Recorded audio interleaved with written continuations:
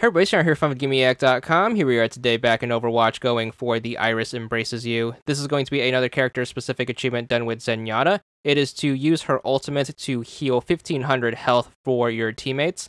Now, first thing you need to do is you need to make sure you build up your ultimate, either let it fill up on its own or make sure you score some kills until you get it.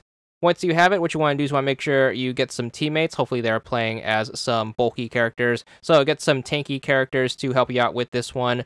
Make sure you have them run into enemy fire, and then once they are weak, make sure you throw up your ultimate using the Y button. You should turn into this glowing orb, and then which one you want make sure you just stay near them, and you should heal them in the background. If the enemy team is still damaging them, you should also heal them during this process, so you can get even more this way. Nonetheless, if you do manage to pull off the 1500 health, you should be good for the achievement. Hopefully you can get it done in one go. There it is. This one's going to be for 15 gamer score. And that's all there is to it.